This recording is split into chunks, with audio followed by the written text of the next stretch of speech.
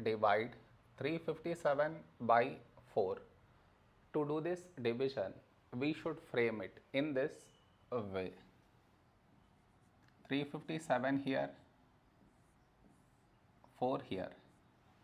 This is your step 1. Next. Here we have 3, here 4. 3 smaller than 4. So we should take two numbers 35. A number close to 35 in 4 table is 4 8s 32.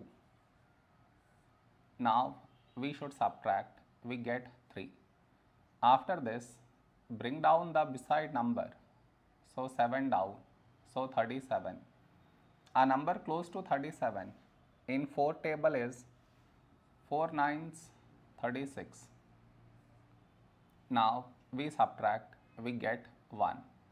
After this, no more numbers to bring it down. So what we do is, we put dot, take 0. So 10. A number close to 10 in 4 table is 4 2s 8.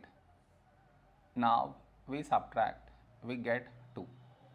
After this, we already have the decimal. So directly take 0. So 20. When do we get 20? In 4 table. 4 5s 20. Now we subtract, we get 0. We got remainder 0. So this is our quotient.